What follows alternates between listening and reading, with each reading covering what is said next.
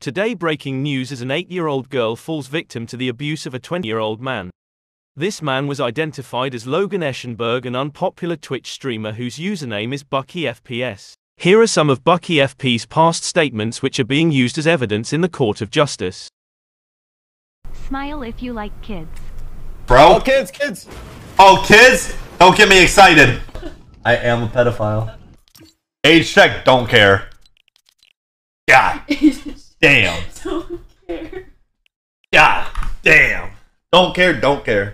Worried parents of little children demand the immediate imprisonment of Logan for it is a public danger to leave him roaming close to schools of public areas which little children can also be.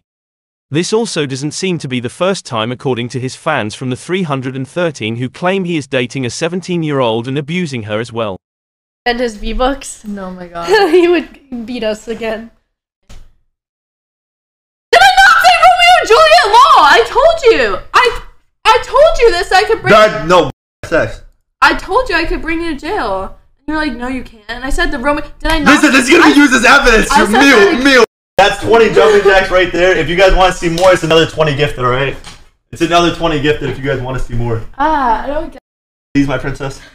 Don't clip that. Nobody clip that. Nobody clip that. Okay, five jumping jacks. Tell me, Princess Five jumping jacks. Five